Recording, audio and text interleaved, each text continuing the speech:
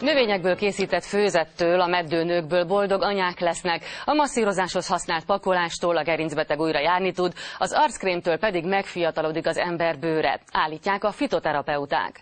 A füves emberek, javasasszonyok ezer éves hagyományokat őriznek. Szerintük a természet erejével sok betegség kezelhető lenne, főleg hagyományos orvosi felügyelet mellett. És mit mond a növények gyógyerejéről a laboratóriumban dolgozó kutató? Ősidők óta alkalmazzuk őket külsőleg és bensőleg, gyógyításra és szépítkezésre, megelőzésre és terápiás orvoslásra. Fügbenfában van az orvosság. Volt idő, amikor mágián végezte az, aki ezzel gyógyított, más pedig Nobel-díjat kapott azért, mert ezekből állított elő egy forradalmi újdonságot. A gyógynövények a 21. században a reneszánszukat élik. Az emberek hány százaléka hisz a gyógynövények hatóerejében, és hány százaléka bármi másban? Nálunk Magyarországon körülbelül 2-3 százaléka az, aki a gyógynövényekben hisz és használja a gyógynövényeket. Ugyanakkor nyugaton vannak olyan országok, például a franciák 30 százaléka.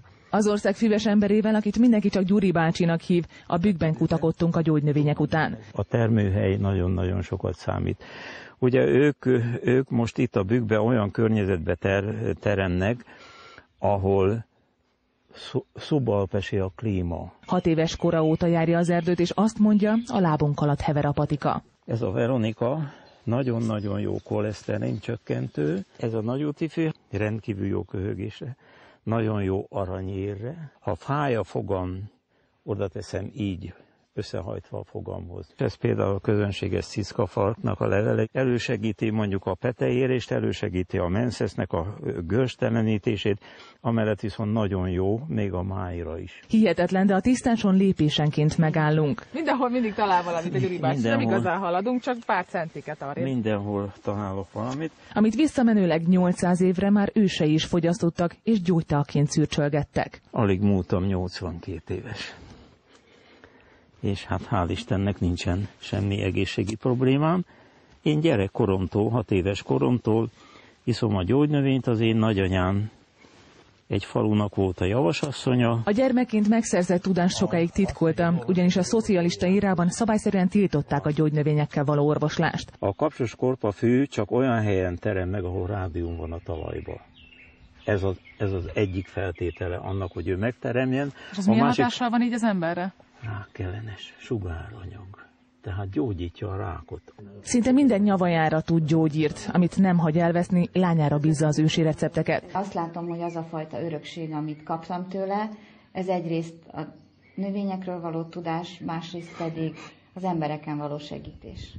És ez egy olyan erős erő, örökség, amit úgy érzem, hogy tovább kell minden. Időközben Gyuri bácsi szemébe könyszökik, meghatódik, aztán újra a teafüvekről mesél. Nyers krumplilé, nagyon jó lugosít, a cékla nyersleve nagyon jó lugosít, megelőzhető vele a ráknak a kialakulása, mert logos környezetbe, környezetbe természetben nem marad meg a rákos sejt. Külföldről is érkeznek hozzá köszönő levelek, de leginkább azokra büszke, amiket korábban meddőnek vélt asszonyok küldenek neki. Hány házaspár köszönheti önnek az, hogy lett kisbabájuk, és jött ide önhöz elkeseredve? Hát akik visszajelezték, már 80 körül van. Legérdekesebb számomra 42 éves nő hat lombik után, és a mély programnak köszönhetően annak a végén egy hónapon belül áldott állapotba került és megszületett a kislánya. Utunk Bükszent keresztről Egerbe vezetett. Jó napot kívánok! Ahol egy modernkori javasasszony fogadott minket. Édesanyám is ezzel foglalkozott. Ő Lukácsné volt, mondhatom azt, hogy az egész ország ismerte, sőt az ország határon túlról is jöttek hozzá betegek, ugyanúgy, mint ahogy hozzám is. A 90-es évekig tanárként dolgozott, majd édesanyja nyomdokaiba lépett, aki időközben Amerikába ment gyógyítani. A recept szabadalmak, és Mária viszont maradt. Tovább gyűjti és gyógyítja az embereket. Egyéni terápiát végzünk. Minden embernek más-más keveréket kell javasolni. A diagnózis felállítása minden esetben az orvos feladata.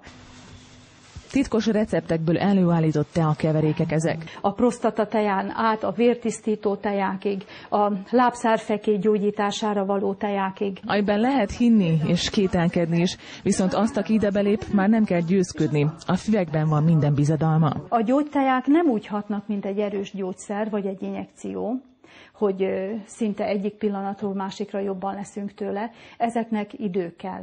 Ami itt folyik, az nem tüneti terápia, hanem okiterápia. Hoztam akkor a tejáját, Ancika, ugye a emésztőszervi problémákra. Szájról szájra terjed a híre. Három-négy napig feküdtem szinte, a bajom, ha bajom elért. Most ilyen problémám nincs. Ez az asszony egy éve iszza a keverékeket, állítja hatott rá. Lassacskán még a gyógyszereket is elhagyta. Persze mindezt orvosi felügyelet mellett tette. Mivel hogy gyógyszert ugye nem szedek, és sokkal jobban érzem magam a gyógyteától, nyilván, csak ettől lehetek jobban.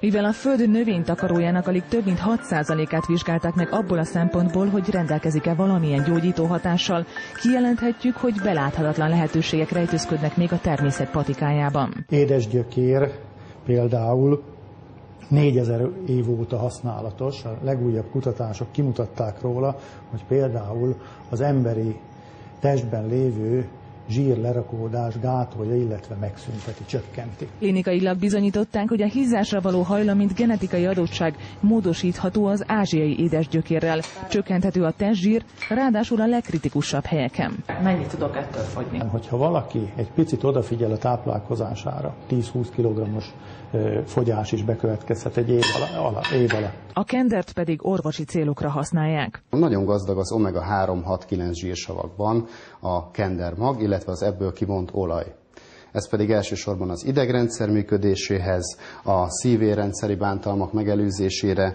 nagyon hasznos lehet, illetve hát a különböző reumás, izületi fájdalmak enyhítésére bizonyult hatásosnak, és hát ezeket nyilvánvalóan kutatások igazolják. Ahogy a gyógyászatban, a szépségiparban is évezredek óta visszanyúlnak a természethez. Százféle növényt használunk. Molnár Ferencet híres édesanyja tanította meg a növényi fortéjokra. Mennyi időbe telt, amíg kikísérletezte azt, hogy mi mire jó? Az első két-három-négy év nagyon göcsörtös volt, és hát nem egyszer emlékszem rá, amikor anyám szentségelve éjszaka öntötte ki a, a rosszul sikerült keverés lábosostul, mert éppen kísérletezett, de nem volt rest, és újból nekiállt, és lehet, hogy hajnali háromra, de készen volt az, amit ki akar találni. A szocializmusban az édesanyja is kegyvesztett volt, de az évek alatt kiharcolta az elismerést. A Magyar Köztársasági Érdemrend kiskeresztjével tüntették ki. Ő az egyetlen mesterkozmetikus, aki ilyen magas állami kitüntetést kapott. A levelét használjuk a cickafarkfűnek, amelyik én szerintem és az édesanyám szerint is sokkal, de sokkal jobb nyugtató jellegű gyógynövény, mint például a kamilla. A kamillában nagyon sok az allergizáló anyag. Ahogy ő mondja, meg kell tanulni bőrül, hogy a kozmetikus felismerje, kinek mi a baja, és arra mi a gyógyír. Konkrétan most leég a fejem, tehát az lehet, hogy valamitől Teljesen normális, vagy pontosan mi? így van. A jó kis magyar erős paprikának a kapszaicin tartalma az, ami ezt a rendkívüli bőrpírt csinálja. Egy nagyon erős gyulladáscsökkentő és fájdalomcsillapító hatással van. A biorózsaszírom itt van benne, itt lehet látni. Ez pedig már a boszorkány konyha. A világkozmetikai ipar az úgy dolgozik, hogy kivonatokat készítenek a növényekből, és akkor abból tesznek hozzá egy kicsit, úgymond benne van a növény. A mi esetünkben pedig, ahogy a magyar nyelv is mondja, szőröstül, bőröstül vagy tokkal vonóval effektív növényi tartalma van. A hölgyek állandó ellenségeire, a cerulitre, a ráncokra, a megereszkedett bőrre is alkalmazzák a füves keverékeket, amelyek hozzávalóit biotermelőktől, saját biogazdálkodásokból és a mezőkről szerzik be. Egy elég kellemes élete van. Az ajurvédikus orvoslásról Siófokon beszélt nekünk dr. Skopincev Dimitri, aki az egykori Szovjetunióban sajátította el ezt a tudományt, viszont évek óta itt Magyarországon alkalmazza. Akaniti, gyökér, ez használunk külsőleg izületi gyulladásra. Babsi Karana. Ilyen gyógynövényekkel az van, például a női szexuális kapacitást lehet fokozni. Lehet fokozni. Ide hozzá már csak azok érkeznek, akik elvesztek a gyógyítási módszerek útvesztőjében. Hát van olyan esetek, amikor például hoznak egy két és fél éves kislány, aki nem tud járni. Pákolások, borohatások, kompresszek, masszázsok, fürdő ami minden növényből áll, gyógykészítmények, fitoterápiás kiegészítők, eh, ettelhez. És úgy lassan, lassan, lassan gyerek kezd járni. Növényi olajat üntenek a fülbe, csepegtetnek a szemre, a beteg testfelületét gyógyanyagokkal borogatják, a forró fürdőt is növényi kivonatokkal végzik. Gerinc problémával sérvem van.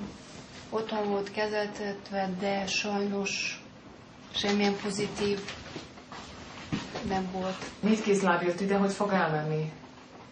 Vonaton, és nagy bőrönte. Az ajurvédikus orvos szakértőhöz a világ minden részéről érkeznek. Ő azt mondja, amit a többi fitoterapeuta is alátámaszt, a hagyományos orvoslást ötvözni kell a növényi orvoslással, és akkor garantált a gyógyulás.